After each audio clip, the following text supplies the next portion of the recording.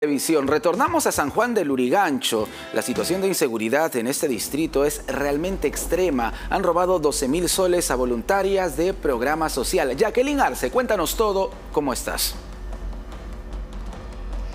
¿Qué tal? Muy buenas noches. Directo en directo. Así es. Vamos a ver las imágenes de las cámaras de seguridad porque ahí se nota claramente cómo ocurrió este hecho delictivo. Esto ocurre a las 5 y 40 de la tarde aproximadamente a la altura del paradero 22 de Las Flores. Se observa como un vehículo azul que hace el servicio de taxi se estaciona frente a un predio que funciona como una iglesia. De esta unidad descienden dos mujeres que están vestidas en negro y una de ellas en particular lleva un listón blanco en el cabello. En ese momento aparece un delincuente directamente eh, le agarra de la cartera a esta mujer que lleva el listón blanco en el cabello, la arrastra y logra despojarla de, este, de esta cartera en la que llevaba 12 mil soles en efectivo. Este delincuente huye, lanza el teléfono de la víctima al pavimento a esta vía y detrás de este delincuente está su cómplice que estaba a bordo de una motocicleta.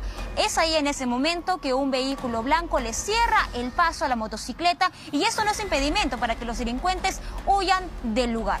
Y es precisamente por ello, Jorge, que nos encontramos aquí en la de Pincre de San Juan del Urigancho, porque Vamos a conversar con Jacqueline Reyes, quien es esta víctima, una de las voluntarias de este programa social, porque el dinero, esos 12 mil soles que fueron despojados de estas señoritas, pues iban o eran destinados para la ayuda social a comunidades de riesgo de niños y niñas en pobreza extrema en San Juan de Lurigancho. Jacqueline, ¿cómo está? Bienvenida a RPP Noticias. Cuéntanos, por favor, cómo ocurrió este acto. Vemos en las cámaras de seguridad que este delincuente rápidamente corre directamente hacia ti, que tenías la cartera. ¿Tú te habías percatado que este delincuente te estaba siguiendo a la hora de desplazarte hasta esa iglesia? No, en sí no me había dado cuenta, no me había percatado, pero este, ante ello, la que me acompañaba, pues ella vio una actitud sospechosa de un joven que estaba dentro de las instalaciones del centro comercial, entonces eh, ahí fue como que ella me dijo, ¿no? Eh, ¿Tienes el dinero? Yo me di cuenta que sí tengo el dinero, pero usualmente siempre verificamos que tenemos el dinero y no lo vi como una medida como que de alguien que nos estaba siguiendo. Y justo en ese momento también me comentas de que ustedes para, a ver, para que las personas no piensen que están llevando este dinero, se pusieron incluso, ingresaron al centro comercial para hacer algunas compras y salir así tranquilamente. Así es, entonces nosotros tenemos la medida de seguridad de que cada vez cuando vamos a retirar dinero, pues entramos a, la a la tienda y ahí hacemos algunas compras, nos demoramos un buen tiempo y de ahí salimos y tomamos pues un taxi de la misma de la misma tienda para que nos lleve directamente hasta la iglesia, ¿no? Donde nosotros estamos con. Entonces usamos esas esas formas para poder despistar a las personas, ¿no? Pero aún así, al parecer, ahí estaba alguien pues mirándonos, ¿no? Viéndonos, este, observándonos y justamente nos hablabas que este dinero era parte de las donaciones, ¿verdad? Para atender a niños y niñas aquí de esta jurisdicción. Así es, nosotros este, formamos parte de una institución llamada CELIN, que es, ayuda, es un programa de ayuda social a niños en extrema pobreza y este dinero es directamente para ellos, ¿no? Entonces, en sí nosotros hoy no íbamos a retirar ese dinero, pero por la necesidad de que tenemos que atender, hoy fuimos. Entonces, eh, por ello es que nosotros eh, fuimos a, retirar el dinero y estaba destinado especialmente para ellos, alimentación, materiales y todo ello, ¿no?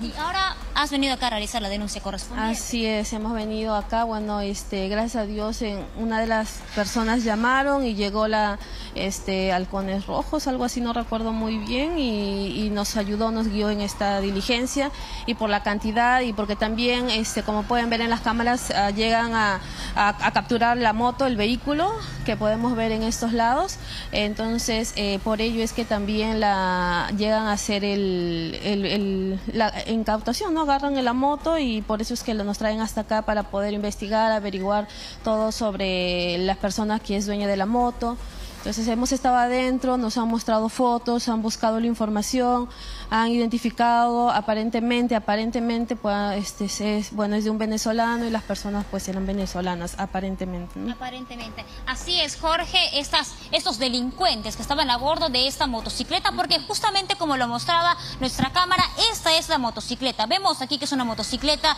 de color roja, ahí está la placa y según esta consulta vehicular que hace la Policía Nacional, dan con el nombre de lo que parecería ser el primer sospechoso. Sin embargo, aún esto es parte de las investigaciones que va a estar a cargo de la de Pincri de San Juan del Origancho y reiteramos, este asalto, eh, estos delincuentes logran llevarse 12 mil soles que eran destinados para ayudar a niños y niñas de extrema pobreza en San Juan del Origancho. Directo en directo RPP Noticias. Jacqueline, solamente hoy eh, y en menos de cuánto, de 12 horas, estamos hablando ya de dos asaltos, dos robos. Recordemos que el alcalde Jesús Maldonado, aquí en RPP también había pedido declarar en emergencia el distrito de San Juan de Lurigancho. Hasta el momento no hay una respuesta eh, de parte del Ejecutivo. Sin embargo, lo que se puede observar, Jacqueline, es que cada vez la situación es más crítica en cuanto a la seguridad en este distrito que es uno de los más grandes y poblados de nuestro país. Así es, todos los ciudadanos, los comercios y todo en general están a la merced de la delincuencia. Y para preguntarle también a Jacqueline con respecto a este asalto, ¿es la primera vez que ocurre en la iglesia usualmente, bueno, en esta en esa avenida usualmente ocurren hechos delictivos? Mm, bueno, en sí este la zona últimamente sí ha venido siendo atacada, atentada, la zona alrededor, pero especialmente al frente no no mucho. Entonces, como iglesia hace muchos años, ¿no? Este en otra área pues este, nos robaron, pero en lo personal para mí sí es la primera vez que me roban, ¿no? Y creo que hay una carga mayor sabiendo de que no es destinado para los niños, ¿no? Creo que ese es un poquito la carga en este momento, ya que la misión CELIN trabaja con niños, niñas de, extrema pobreza y, y, es complicado y es doloroso, ¿no? Perder ese dinero. Sido una colecta de años, ¿hay algún teléfono de ayuda en la cual, no sé, los televidentes puedan comunicarse, también brindar algún tipo de donaciones para estos niños? Así es, bueno, nosotros tenemos una página llamada Misión Celín, donde ahí pueden ver el trabajo que nosotros realizamos.